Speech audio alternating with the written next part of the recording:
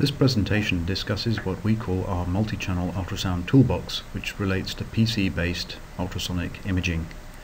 Uh, this work was done by ourselves at Diagnostic Sonar Limited near Edinburgh in Scotland and was done in conjunction with the group of National Instruments in Austin in Texas. So let's have a look and see what we're going to cover in the presentation. We'll start off with a bit of the background with the evolution of phased array hardware for NDT and in particular the way it migrated from custom hardware to using PC based hardware. We'll then be looking at the challenge for the future which is a further integration of this PC based system and discussing the constraints such as data rates and flexibility which are uh, implicated. We'll be looking at some of the solutions uh, and the approach that we've adopted is using field programmable gate arrays with customized hardware.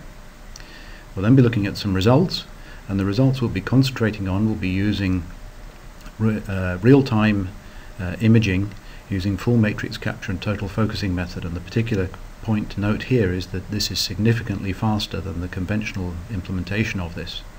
And finally we will be winding up with some conclusions. The phased array hardware evolution started around about the 1970s and here we have some imaging systems uh, which were spin-offs from the medical imaging systems.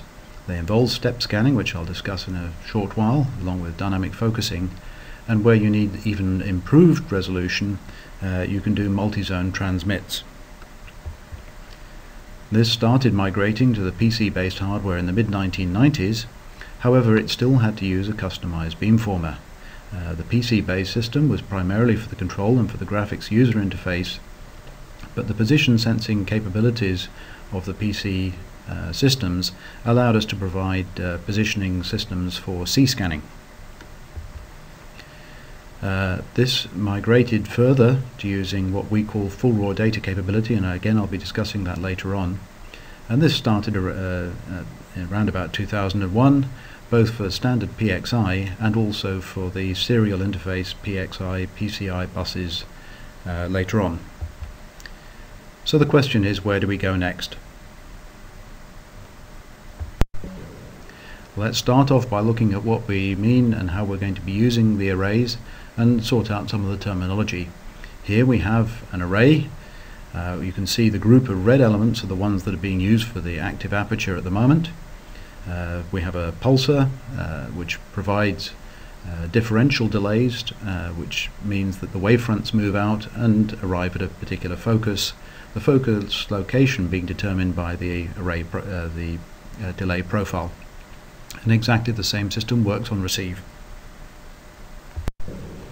So if we move that active aperture along the length of the array, this is what we refer to as step scanning, and here we see a simulation of the uh, movement along the array uh, to produce a step scanned image.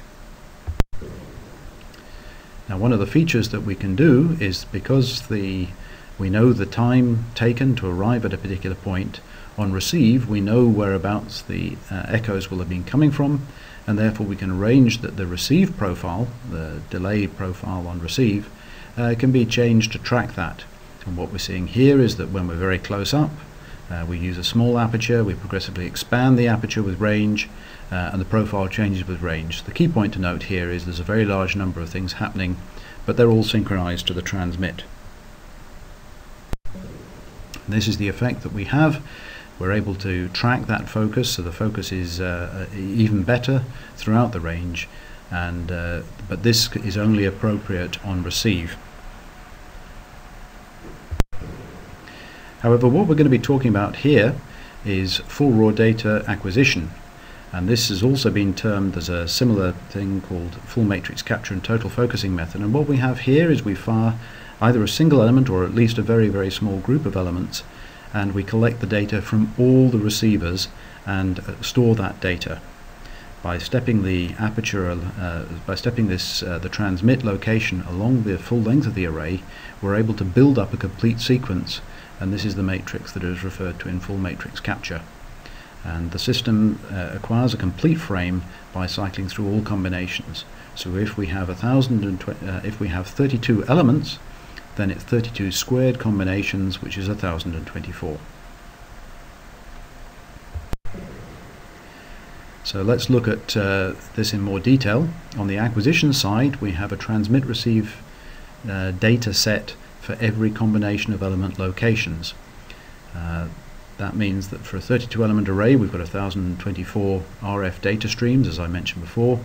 However, if you've got full 32 channels data uh, uh, receive uh, parallelism, then you only need 32 pulses to require a complete frame of data. I mentioned that uh, we can fire either a single element or a small group of elements if we want to steer the energy in a preferential direction. However, if you're using a single element, then this is where full raw data is equivalent to full matrix capture. On the processing side, we have to work out why we would want to do this. And one of the benefits here is that every pixel has the ideal focus on transmit and receive. So this is equivalent to dynamic transmit receive focusing. A further benefit is that the beamformer parameters, including the reconstruction velocity, the aperture, steering, shading, and even the reconstruction algorithms, are all defined at reconstruction time. So this allows a considerable amount of flexibility and it's more akin to pulse echo uh, holography. Uh, in addition to that, the arrays, the interfaces and the target geometry are also defined when processing. So it means that if you've got a, a slowly varying structure, uh, such as a changing profile along a wing section in an aircraft, then basically you can uh, change your algorithms as you go along rather than need to predefine whereabouts you're going to be doing your a step from one imaging geometry to another imaging geometry. A further benefit is that the reconstruction algorithms incorporate the scan conversion as well. And as I mentioned before, the uh, uh, when you're using all the elements uh, for acquiring the data, then it's the equivalent of total focusing method. If you're using a subset, which allows you to do differential steering and so on, then uh, this is uh, then full raw data is an extension of the total focusing method. And here's an example. We have an array on the bottom left hand corner. Uh, it's as though it's on a wedge and so we see the refraction as it passes through the end of the standoff which is represented by the red line. You can then see the way that the beams are scanned through the imaging uh, the, the resulting image locations in a raster fashion, or indeed any sequence that you choose on this.